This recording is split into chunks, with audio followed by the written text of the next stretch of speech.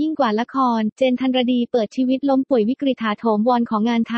ำ เจนทันรดีอดีตดาราสาวชื่อดังทะเลาะกับสามีรุนแรงโดนผลักล้มหน้าผากด้านขวากระแทกพื้นปูดบวม ไม่ได้ไปรักษาจนเริ่มปวดหัวรุนแรง กินแค่ยาพาราต่อมากล้ามเนื้ออ่อนแรง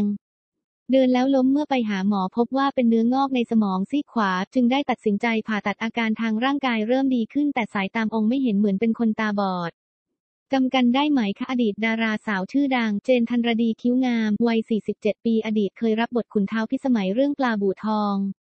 และมีผลงานการแสดงและพิธีกรต่างๆ มากมาย ล่าสุดเธอได้อัปเดตชีวิตปัจจุบันหลังหายไปจากวงการบันเทิง โดยเผยว่าช่วงโควิดรอบแรกงานเริ่มหายและตนก็ได้มีปากเสียงกับสามีเรื่องค่าใช้จ่าย สามีผลักตนล้มลงหน้าผากด้านขวาได้ไปกระแทกกับพื้นหัวปูดบวม ซึ่งตนไม่ได้คิดอะไรประกอบกับไม่มีเงินเลยไม่ได้ไปหาหมอ ต่อมาเริ่มปวดหัวอย่างรุนแรงก็กินยาพารา ต่อมาเริ่มมีอาการกล้ามเนื้ออ่อนแรง เดินแล้วล้มจึงตัดสินใจไปหาหมอพบเป็นเนื้องอกในสมองซีกขวา ความกว้าง 7มิลลิเมตรจึงได้ตัดสินใจผ่าตัดเพราะถ้าไม่ผ่าจะกลายเป็นมะเร็งได้ อาการทางร่างกายเริ่มดีขึ้นแต่ไม่ 100%เพราะสายตามองค์ไม่เห็นเหมือนเป็นคนตาบอด ผ่าตัดผ่านมา 8 เดือนตายังมองเห็นเลือนรางต้องใช้ไม้เท้าช่วยเวลาเดิน